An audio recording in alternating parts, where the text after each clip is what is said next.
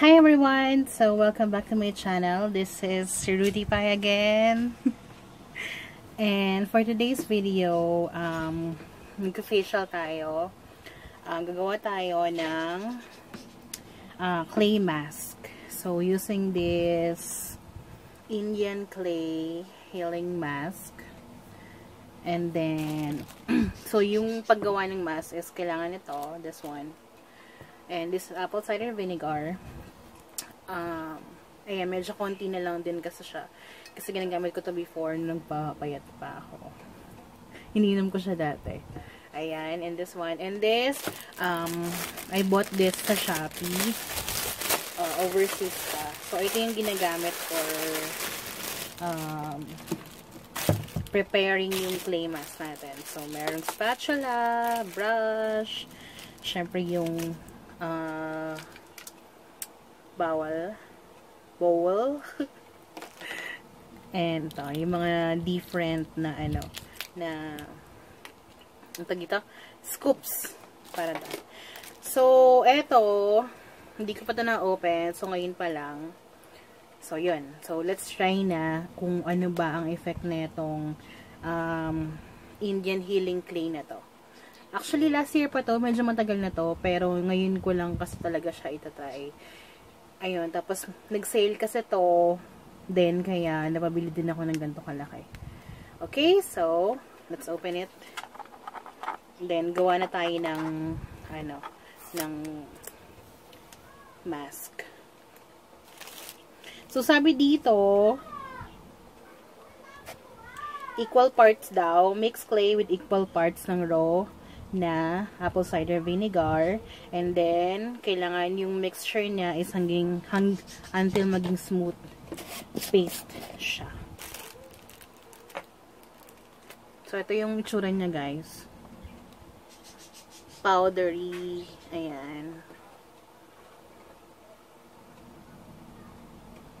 Hmm. Ano naman siyang amoy? Okay.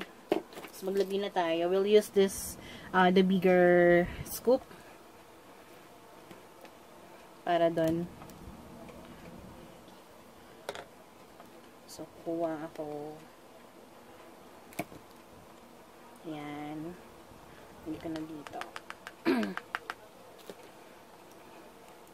Try natin mga dalawang um, scoop na itong malaking size. And then, this one, the apple cider vinegar sabi niya, lagyan din daw natin.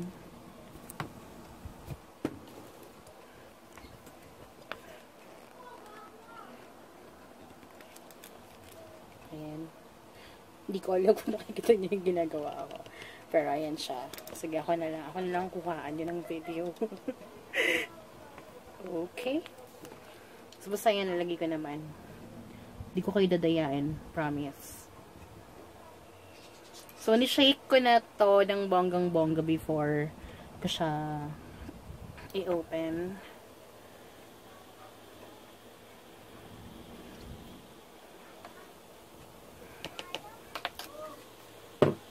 So, actually, meron siyang ano, oh, yung parang, parang pag nag-open ka ng Sprite or ng kahit anong soda, ah, uh, may ganong effect, may bubble-bubbles effect siya.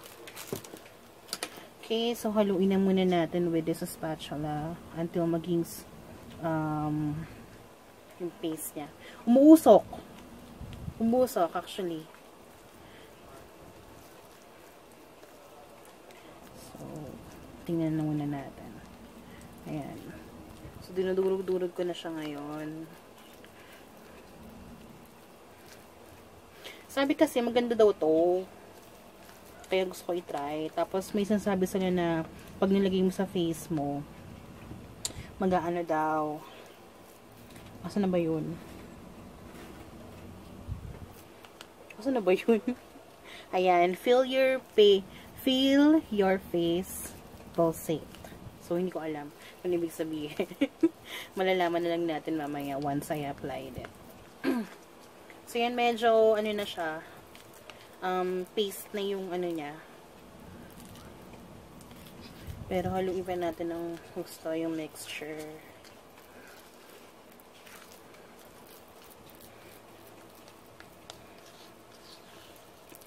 Tapos, once may apply na sa face tong mask, kailangan ililive mo daw siya ng 5 to 10 minutes. For delicate skin yon Kapag normal skin naman, 15 to 20 minutes. So, I think my skin naman is normal. So, at least mga um, 15 to 20 minutes to. And then, I'll get back to you na lang kapag uh, I will wash my face na. Okay, so, paste na siya.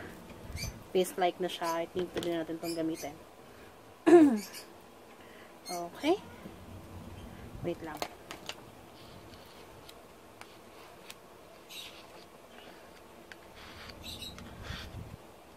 So, inayos ko lang yung ano. Sige, let's do this. Para malaman kung ano effect niya. And kung maganda talaga siya. Okay, so using this brush, lagyan na tayo sa ano, So, I'll start with muna. I wash my face pala guys before ako nagharap sa inyo.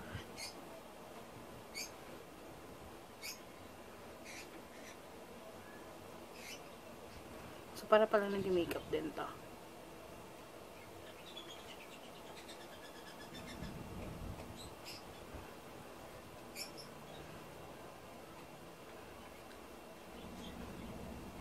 Parang kulang tong ginawa kong mixture. Kasi ang laki ng mukha ko.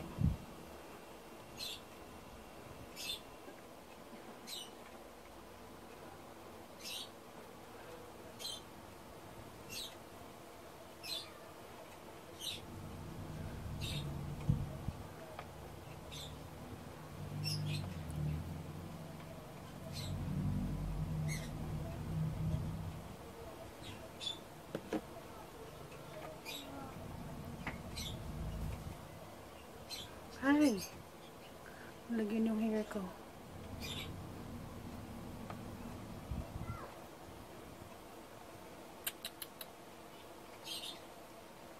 Ang lagkit niya.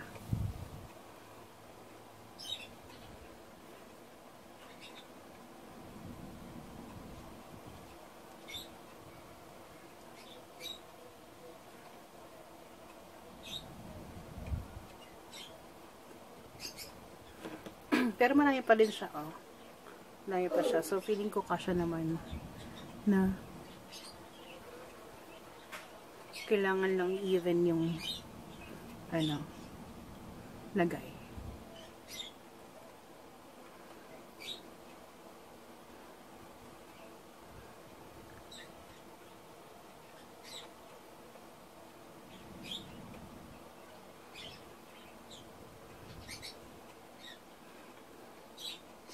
Medyo yung feeling is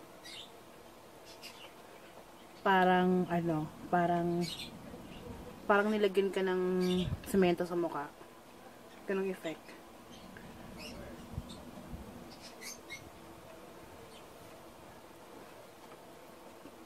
Ang dami pa niya. Sobrang dami pa niya.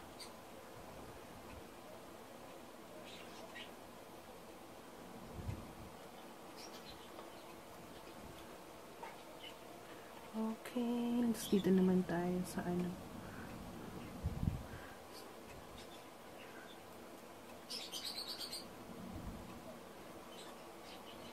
Parang na-aspalto yung face. Parang siyang nababanat, ganon. Ganon yung feeling niya.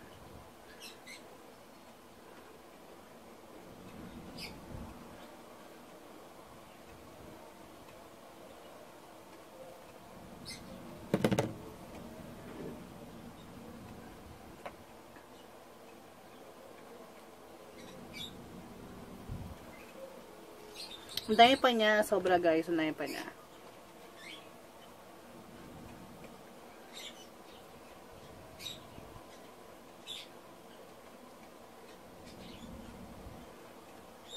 Ayan. So, okay na to. Ubusin ko na lang din to. Lagi ko sa face ko para din naman sayang. So, I'll get back to you after 15 to 20 minutes. And then, tingnan natin um, kung anong feeling ba I'll share ko sa inyo. Okay? So, see ya in a bit. Hi guys! So, welcome back. So, I already um, washed my face kasi past 15 to 20 minutes na. So, sabi doon, um, merong red red. So, I think merong red red dito sa may bandang noo ko. Okay lang naman daw yon Magdi-disappear naman yun after 30 minutes. So, yan. Fresh na fresh pa talaga. Kaka-wash ko lang ng face ko. So, yung feeling, habang inaantay kong mag fully set siya dun sa mukha ko, um, masaya. Masarap. Kasi parang, alam mo yung parang, parang, sabi ko ano nilalagay ko siya, parang ano, parang, um, nalagyan ng semento yung mukha mo. So, lalo nung nagda-dry na siya doon, tapos nag-crack-crack na yung mga glaze. May ano eh, may tickling sensation eh. Parang tinutusok. Pero, pero yung pag tinutusok naman siya, may kiliti factor din. So, ganun. Tapos, parang lalong, parang nabanat yung mukha mo, parang talagang nanunuot sa loob ng pores mo yung clay, mga ganong eksena. And then, um, especially nung medyo fully set na siya, na totally nagka-crack na siya dun sa mukha ko. Um, tapos, hindi, hindi ko magalaw yung parang dito sa sa part na to. Kasi, yun nga, parang nahapit siya ng husto. Tapos, nung when I tried to move my jaw, ang saya. Kasi, alam mo yung parang, parang, basta may, may, may feeling, may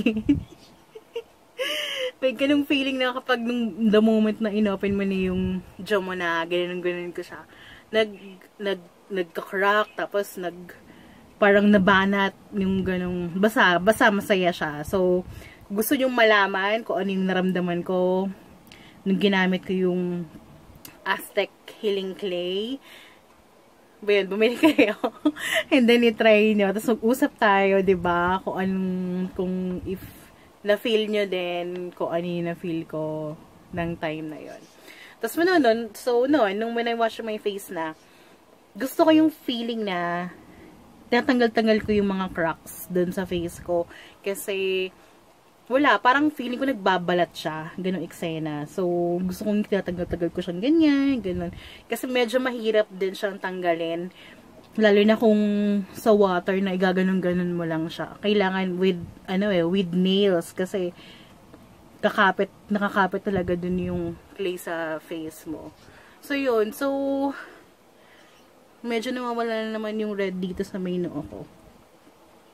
Ayun, masaya siya. Masaya siya. I-try niya siya uh, medyo nag-cleared, nag-clear din naman yung mukha ko. At unlike kanina na sobrang parang undilim, ba diba? Pero ngayon medyo nag-clear naman siya.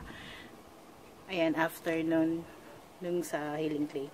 So, yun guys. So, yun lang. Na-share ko experience ko um, using this healing clay mask. Indian healing clay. So, itry nyo din to. Masaya siya try nyo din. And then, if you already tried it, um, mag-comment kayo. Mag-comment kayo dito sa video ka na to para magtsikahan tayo ko.